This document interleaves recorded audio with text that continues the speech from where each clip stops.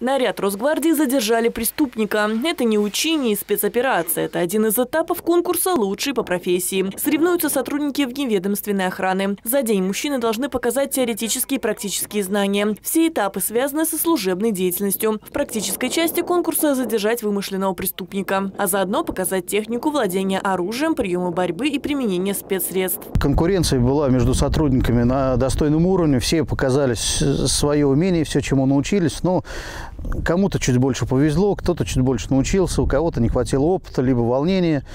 Вот. Поэтому все первое место не занять не смогли, но уровень у всех был достойный показан за своей подготовки. Сотрудники неведомственной охраны в первую очередь должны быть в хорошей физической форме, поэтому бег с препятствиями или рукопашный бой для них также не проблема. По итогам конкурса золото взял экипаж группы задержания по городу Ульяновска Сергей Машухин и Константин Глебов. Самое сложное было э, бег по полосе препятствий и стрельба, потому что была большая нагрузка и нужно сосредоточиться, концентрацию проявить и попасть в мишень. Конкурс профмастерства проводят ежегодно. Победители регионального этапа поедут на заключительный всероссийский. Соревнования пройдут в Воронеже в июне. Анна Тищенко, Улправда ТВ.